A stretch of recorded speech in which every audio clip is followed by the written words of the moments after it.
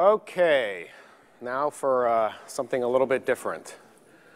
So um, I'm Matt Haines, and uh, I lead the uh, cloud groups at Time Warner Cable. With me is Jason Rouault. He leads the OpenStack team. Uh, you've been hearing from his team several times this summit, uh, talking about how we did OpenStack at Time Warner Cable and some of our challenges and successes. Um, what we thought would be interesting, uh, and largely for, hopefully an audience of folks who are trying to look at OpenStack for enterprise use, is talking about the culture of your company and what, what installing OpenStack into that culture possibly does. And then things you can do to maybe make that transition go a little better. So, uh, so what we'll do is introduce a little bit, just really high level, uh, the the OpenStack project for Time Warner Cable, why we did it, and, and kind of where we are with that. And, and again, I'm going to be really brief with that. Um, if you missed the technical talks that, uh, that Jason's team has been doing, they're all online somewhere uh, that you can go look at them. I, I, encourage it. Really gets into the details, as I said, uh, and it's probably important to make this caveat. At a technical conference, this is not a technical talk. Um, so, um, so let's talk about the, the culture uh, at Time Warner Cable, but let's start with a little bit of where we are. So um, we started um, uh, not too long ago um, to, to stand up OpenStack at Time Warner Cable. And um, we, uh, Jason's team spent about six months from, you know, uh, whiteboard drawings to a production cloud up and running. Uh, and that was a you know, phenomenally fast stand up with some of the operational requirements that we gave them uh, for, for what I call enterprise OpenStack. And that was, I wanted a version of OpenStack that, you know, look, we all, we all like to, we all know the cattle and, and pet model, and we like to think that all of our customers are going to be these sort of you know, brutal cattle folks who, who, who have elastic applications and they spin up and destroy VMs, you know, on demand all the time. And the reality is if you're doing this inside of an enterprise that's existed for a while, and especially inside of an enterprise as, as fresh and new as the cable companies, um, you, you, you, need to be ready to, to support a certain kind of application. Uh, and that's the application that assumes the VM really isn't going to die uh, and that it's going to stay around for a while. And they do give them names, and they really are upset when you kill them. So, you know, there's a blend that's at work here, and I think it's really important when you do this for a company that you, you kind of understand what you're getting into and not just go with a uh, sort of a, a, you know, a certain you know, open stack level. It's going to be this one, you know, way where everyone kills and destroys VMs and, and, and does you know, horizontal scale and all that, but, but really we could take pretty much an off-the-shelf application that expects the VM to live and, and have a high success that it'll live in our environment. So for enterprise OpenStack, you know, the, the, the, the, the big things that had to show up, uh, we needed a geo-redundant footprint. Um, it, it, we have it in two data centers, in our two of our national data centers in the country. Um, object storage is shared across, is, is replicated across. Um, our, our identity is global. Um, and we, you know, the biggest thing, and it's come up in our Ceph talk and several of other talks, is live migration.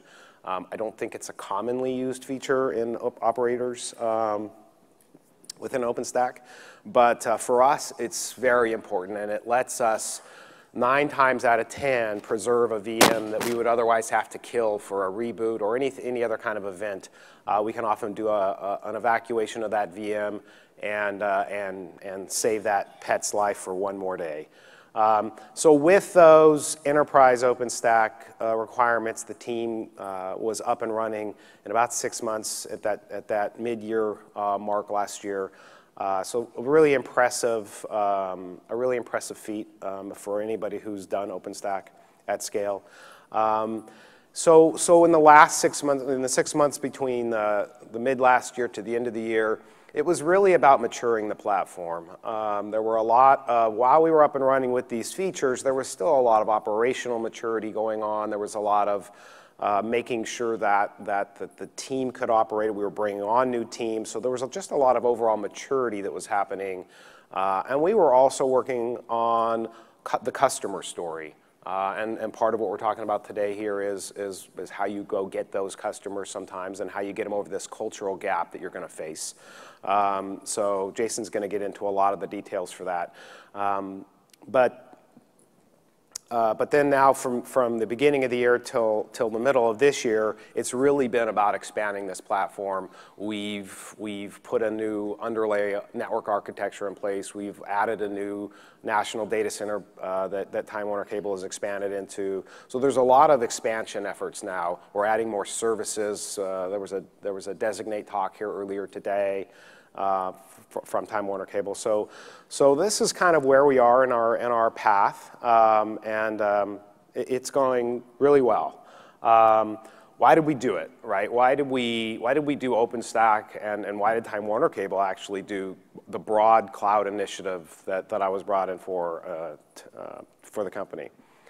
Uh, and it really came down to these three propositions. Um, the first one really is about making sure that your development community, the customers for us, can move faster. Um, this is really about giving uh, folks a programmatic on-demand infrastructure that they can start to use automation, and to the extent that they want to start to develop a DevOps model and, and build applications that way, um, they actually have the support from the underlying infrastructure at the company that they need.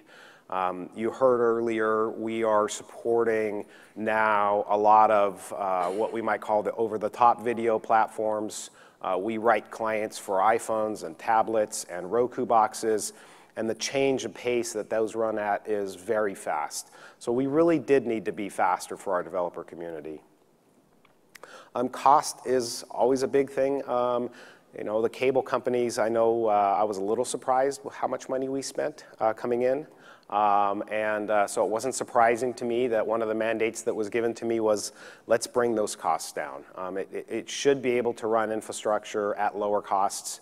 Um, OpenStack, in particular, as one of the big tools in our cloud arsenal, gives us a capability of not just because it's open source, um, that, you know, that, that can be a bit of a fallacy sometimes because you still have to hire people and sometimes you have support licenses and so forth, but, but because it, it is a you know, is a pure software uh, level architect, you know, infrastructure for us and allows us to, to create a commodity hardware platform under the covers.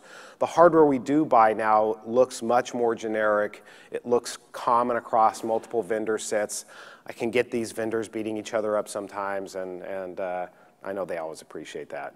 Um, and then finally, um, it was important as uh, it was important for us to be able to build this in a way that created a reliable footprint for applications.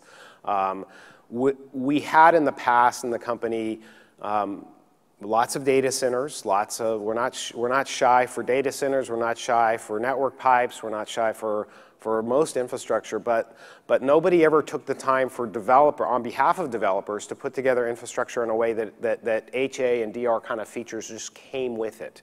Um, and as a result, the applications that support our video, broadband, and phone services that run across the company ran with different levels of reliability for those, those major events. So our job was to, to smooth that out a bit and create some consistency in the way we provide HA and DR support to our applications.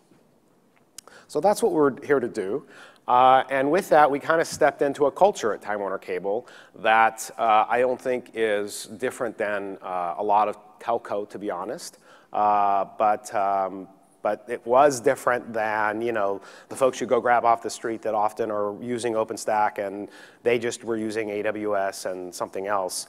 Um, this is really where the mismatches that we've seen um, and, and what we're going to get into today. So you know, I like to say it's, it's sort of an operate over engineer culture often. Um, it, it, it's, it's hardware over software. If there's a solution that can be created, and you know, if you can go buy an appliance to do something, then let's do that. Um, as opposed to actually creating some software on top of something more generic. Um, the, the culture was very much vendors over open source. Uh, it's, it's, a very, it was, a, you know, it was and remains a very vendor-friendly uh, community, and what, we're not, we're not trying to be unfriendly to our vendors, but we are trying to, to bring in this notion that open source is an important uh, part of the mix. Um, I think all this kind of comes down to, you know, for me, what it felt like was was a culture that was built around stability um, over speed, and and uh, and so there are a lot of things in the company and the way it operates in the processes that create slowness. Uh, for the sake of stability. And, and, and, the, and the interesting thing, and I don't think I have to sell that here, is that's a bit of a that's a bit of a, an illusion, right? Um, and I think what most people realize is speed is stability, um, and so that's one of the big things we're trying to get uh, across. So, um, so with that, that's the intro. Uh, that's about all I wanted to speak today. So um, I'm going to hand off to Jason here, and he's going to he's going to kind of take you through some of the things and the shifts that we've done. And and I do want to indicate, you know, we're kind of almost seeing. Hopefully, this is like a two-man panel, and I'm hoping you out there are, maybe have a question about your company, and we're, we really don't have 40 minutes worth of talk. So uh, so please come up and ask us questions. All right, great. Uh, technologist gets to talk culture. This is going to be fun no, it's not. Um, no, actually, there's a lot of cultural changes that we've undergone and are still undergoing um, with the rollout of OpenStack, both within the OpenStack team as, and, and what's more interesting, just across the company. And I'm going to focus on three of them today. The first one is, related, is tied to application migration. Um, then we'll talk about DevOps transformation, and then we'll get into some of the tooling. If we, if we look at the application migration, this one's kind of interesting because um, we have a lot of traditional applications that, that are migrating to the cloud, right? And, and, and, and, there's, and there's also, let me back up and say, we also stood this cloud without a mandate that you, you have to move to it, okay? So there was no stick, right? So it's all carrot. And these are the carrots, um, the, the added values, right? So everything that we've been hearing about, um, about speed, agility, that type of thing, the, those, those are the carrots. But those carrots aren't, um, aren't well known from in a, in a, traditional enterprise. So you have to get into a lot of education. You, there's a lot of concern about the, the, the, reliability of the system, and so you need to demonstrate that it is reliable. Um, and then there's a trust transparency component. I'm going to go into these a little bit. Um, from an added value perspective, you know, I'm not going to talk about the self-service stuff, but we added some things into um, our specific deployment to actually help these non-cloud aware applications to come to come um, and join the uh, the cloud, right? So um, we have the geo redundant um, object storage, which is great for disaster recovery, right? A, lo a lot of the systems, um, I wouldn't say a lot, but many of the systems in Time Warner Cable that are kind of just sitting in one data center, um, and you know we lose that that data center, we'll lose that whole app, right? So having a geo redundant data, uh, data store like this is very easy to, to, to do backups, and they're automatically available in another region. Um, from the same perspective, we also set up multiple multiple regions for our cloud, right? So you can, our customers can now have compute resources in both regions, and they can do things like global load balancing between them and things like that to get to get nice uh, HA.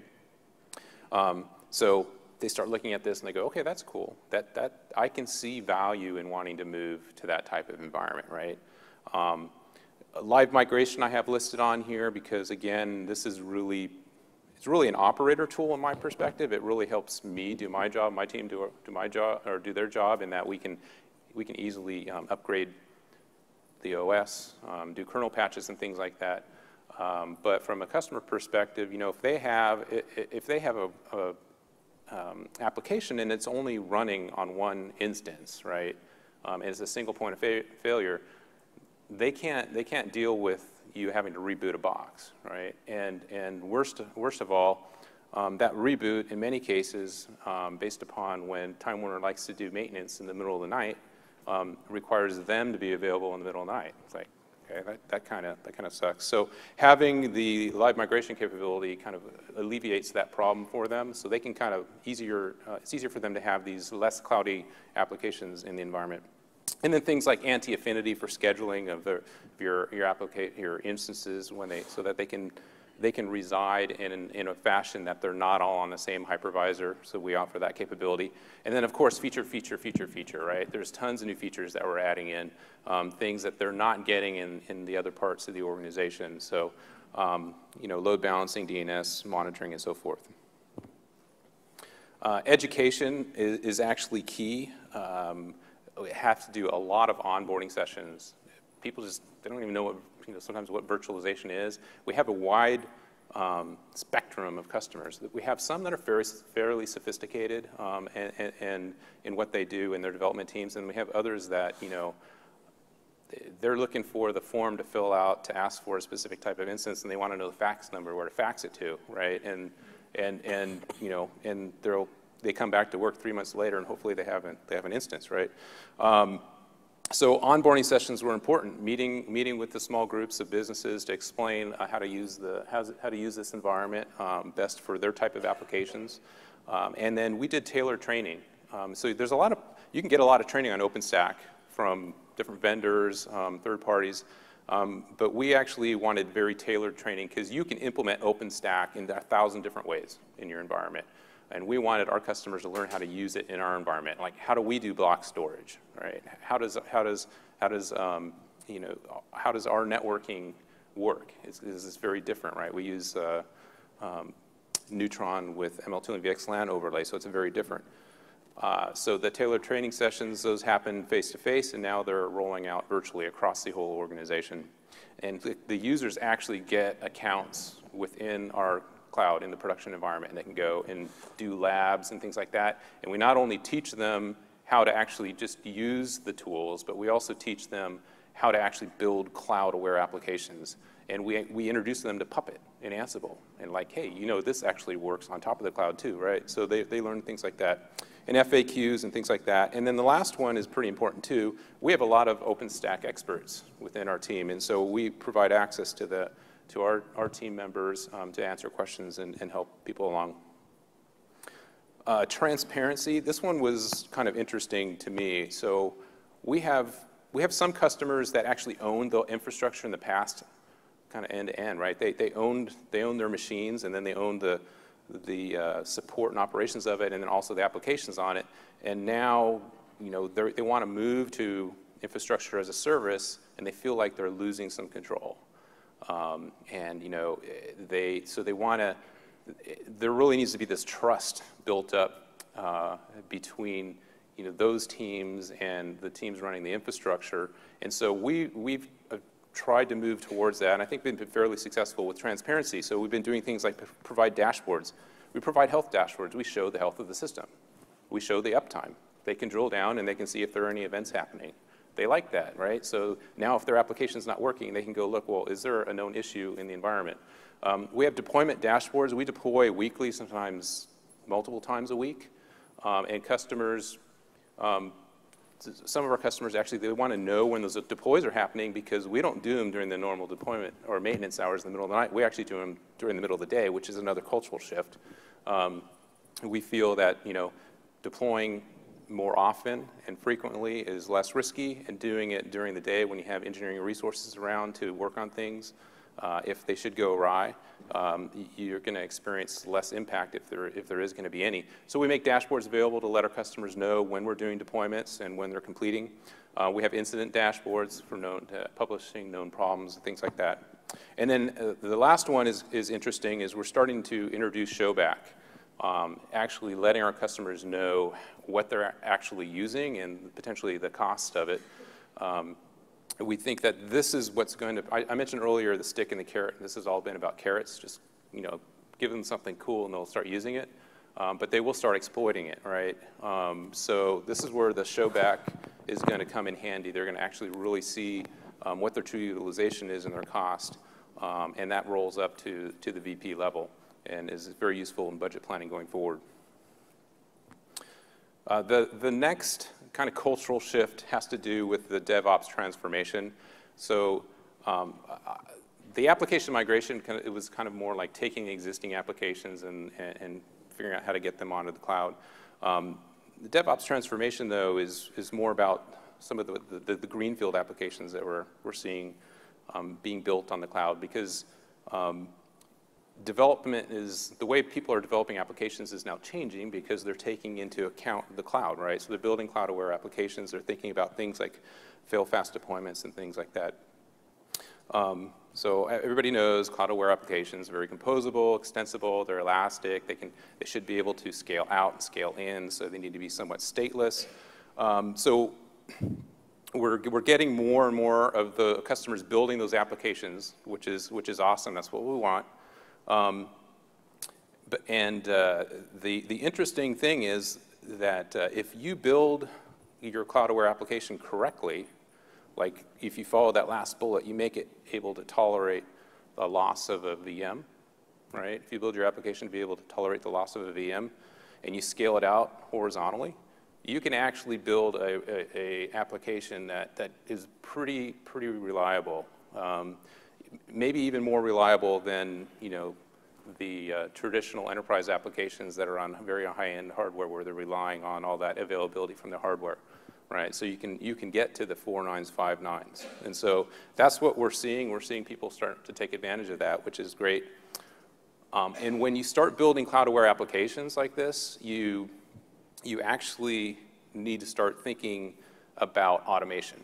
Because if you want to deploy out horizontally and, and then scale back in, you need to do that in an automated fashion. And if you want to be able to um, recover or, or, be fault tolerant, you need to be able to build things on the fly. So you're talking about really automating the uh, creation of your, uh, of your environment and the maintenance of it. So now you're getting into DevOps. So that's where this whole DevOps model takes into account. So, so now the application developers are actually thinking about operations, right? They're thinking about how is this going to be deployed? How is this going to be monitored so I know how to scale it out and scale it back? So we have teams now that are on our cloud that are really moving to full DevOps models, which is awesome. Um, and then with the, you know, as you move to the DevOps model and you have more automation, you're going to be able to have more rapid deployments. Traditionally, as, as Matt said, um, deployments in Time Warner Cable have been very methodical, very slow, very deliberate. Um, and so now with automation, you can really start thinking about, well, how can I deploy more often? Um, and, and how can I think about more fail-fast type of delivery mechanisms um, that, you know, if you, um, if you fail, then just, you know, deploy again, fix, deploy again, fix, deploy again. Um, and it's an iterative process. So that's, uh, all right. All right, third, third and foremost is the tools and processes. So um, we've introduced as an OpenStack team um, a lot of tooling for CI/CD uh, and, and to get the automation for our cloud infrastructure in place. Um, this, this tooling now is, is starting to find its way into other parts of the Time Warner organization. And we've, uh, from a CI/CD perspective, as well as some of the, the, processes we have in place for rolling things to production, um, and then also the use of the tools um, is, are now kind of are starting to be used outside of the cloud. So, and I'll, I'll get into that in a minute. I'm not going to describe our, our CI/CD process flow. We've had presentations on that already. Um, but we do have um, quite a few tools that we use um, in conjunction to, to do, to do CI/CD in our environment. And from an OpenStack cloud perspective, you know, we stay very close to upstream trunk. We're able to pull in, um, you know, contribute changes upstream, pull them in, you know, test them, deploy them very quickly, and we do that um, weekly. And this, this same type of CI/CD tool chain now, um, we're, we're starting to work with like our network, our physical networking teams to introduce this to do change control and automation for the uh, switches in the network, um, in the physical network. So we're really excited about that. And then we also have other, we also have other teams that are building applications on top of our cloud that are making use of the same CI/CD infrastructure. Uh, processes, I talked about tools, but processes and having one is actually important. So you can't just uh, randomly push uh, changes to production, so you need to have a process. In, in our, um, in our environment, we actually have uh, this virtual development capability where we can develop our cloud on top of our cloud. Um, each developer can, can actually spin up a complete cloud, even with regional aspects, um, and, and, they can do their own development work and know that it works. Um, and then that gets submitted for, for review using kind of Git and Gerrit capabilities and then merges to master, and then we can roll it out through staging into production and, and so on. Um, some of these mechanisms here and processes here now are also being used by other parts. We have a video application team now that is actually using the, our same uh, virtual development capability um, to do the development of the, the video application platform backend. Um, so they can rapidly spin up all their dev test environment um, on top of our cloud. All right, tools and processes. So what I, what I mean by this is um, there are a lot of things that, that were needed from a, a, standpoint of how do you operate as a kind of a DevOps organization. Um, things like, you know, how are you going to communicate, how you can have a distributed team, you know, so being able to make use of like HipChat, Confluence, things like that, have Ansible and Gerrit, or Ansible and, and Puppet and even Gerrit um, publish uh, information within those channels so everybody knows what's going on at any, any time of day. Um, being able to have an uh, on-call schedule um, with escalation policies, um, things like that. And these tools now are starting to permeate outside of the OpenStack team. So we have other, we have lots of other organizations now that are coming in. They're like, hey, we, we heard about this, this cool internal chat mechanism that you guys are using. Um, you know, can we use that too? We're tired of using Lync or Jabber or whatever. Um, same with some of the other tooling. And so that, that's one aspect of, of tool leverage. The other one is um, we've been developing infrastructure monitoring capabilities um, so that we can actually uh, operate, support our cloud. So we have been a, a, big uh, supporter and contributor to Monasca. And we use that to monitor our infrastructure at, at mass scale. And that is actually now going to be rolling out to our customers so they can monitor their instances as well as their applications because they can push custom metric metrics into the system. But beyond that, we actually have people in other parts of the company that are running things that aren't ever going to be on our cloud. They're on physical hardware um, for, various, for various reasons. But they, they need the same kind of monitoring, thresholding, notification capabilities, right? They, they don't have to have the rest of OpenStack for that. So they can go and leverage this, this monitoring capability as well. Um, so a lot of leverage going on. Good. So um, yeah, I think just to kind of wrap things up, and we'll open it up for any questions. Um, you know, if you're thinking about putting OpenStack in your enterprise, um, you know, we obviously recommend it. That's what we've done. Um, but I do think it's important to pay attention to the cultural implications that are going to come with that. And, uh, and that's going to mean you're going to have to be appreciative of the kind of customers you're inheriting and what they're going to need. Uh, and, and, then, and then also, and, and Jason mentioned some of those one of the really cool things that happens is that the tooling and the methodologies and the mindset that your DevOps OpenStack team brings starts to trickle out into the company, right? And it starts to find interesting little uh, ways to infect all these other teams in, in what I think is a positive way. So um, just to mention, you know, changing the technology, we're all, I think we're all technologists and we like to, you know, wrap our brains around technology and think there's really good problems there. That's really the easy piece. This culture thing is tough. Um, I think you need to have executive backing. Um, and, um, and I think trying to change culture in a company without that, it, it, it's pretty difficult. Um, luckily, we had that. Um, and also, you know, while you're here and while you're making change, and, and Jason referenced a couple times, you know, we do our, our deployments in the middle of the day, and that's totally different mindset than the company has. Um, but, but one of the things I'm trying to do is to say, get used to this change, right? Change is the new default culture. We're going faster, and I alluded to this earlier, right? Stability, there's this notion that we should be stable over quickness, and, and, and what I'm trying to teach people is that's kind of the opposite way to look at it. You really get stable when you're fast, and so change is really the default culture for us now. Um, we're certainly not done, and there's certainly a lot of corners of Time Warner Cable that uh, I think still need, uh, still need some of this, uh, this uh, DevOps mentality to, to infect it. But, um, but I've been, I've been really happy to see what, what this team has not only accomplished, but, but how that started to really change things at the company. Um, so that's it. We'll, uh, we'll stop there and uh, ask if you have any questions. You stand to a mic. If you can't do that, I'll try and repeat the question, and we'll leave it at that.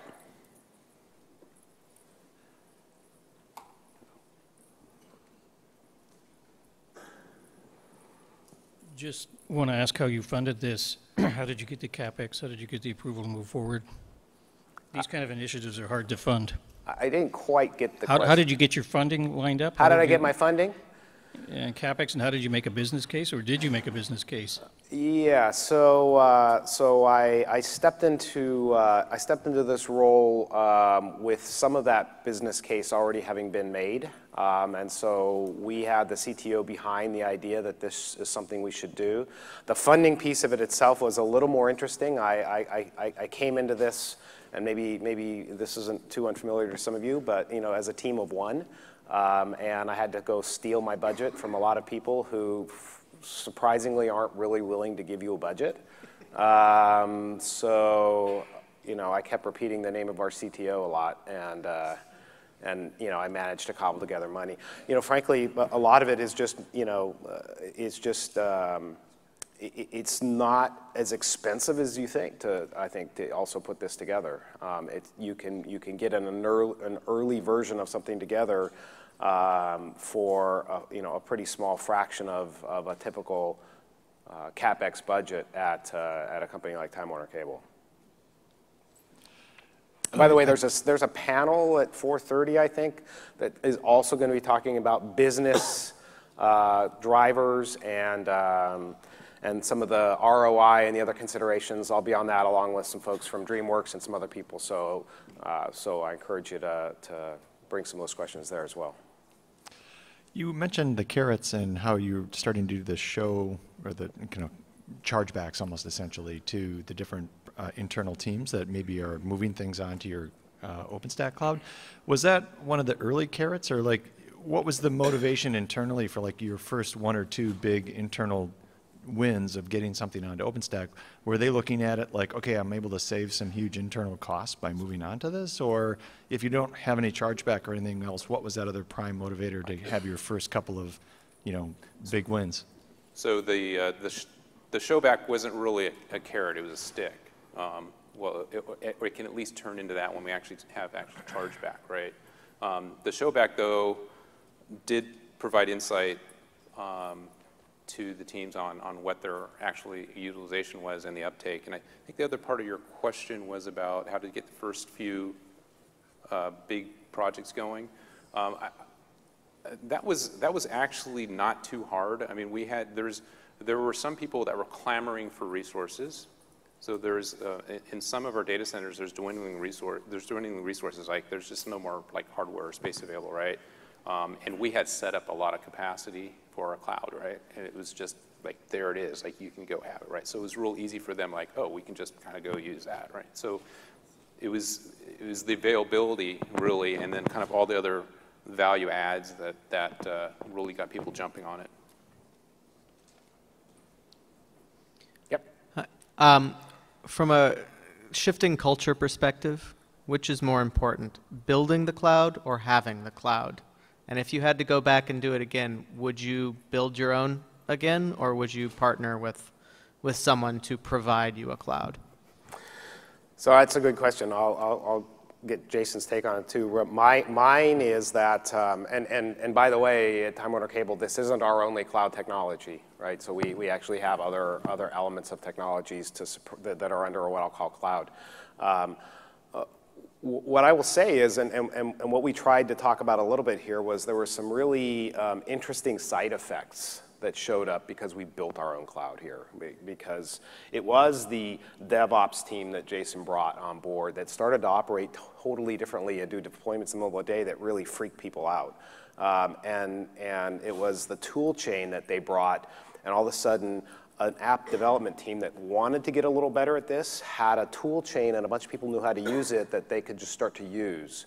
And so by building a cloud like this, I think it really helped infect the culture a little more than it would have been if we'd have just parked, you know, backed it up and parked it and said, here's your new cloud. Um, what do you think?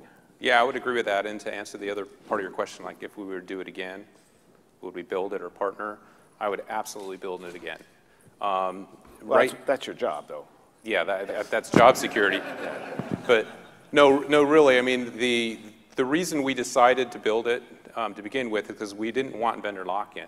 We wanted, and we wanted to have the flexibility to expose the features and the, and, and the configuration we wanted to. And if we saw something new coming quickly in the community and we wanted to move to it, we could go do it. Um, because we, we'd have all the CI/CD in place, and we could go and just affect that change ourselves and not have to go work with the distro vendor to say, you know, when are you going to have that in? Oh, it'll be in, you know, six months in the next release or something. So this OpenStack's moving very fast, um, and a lot of it's still immature and still kind of figuring itself out. Um, and, and as long as it's it's in that state, I want to be able to stay as close as I can to trunk and be able to control my own destiny.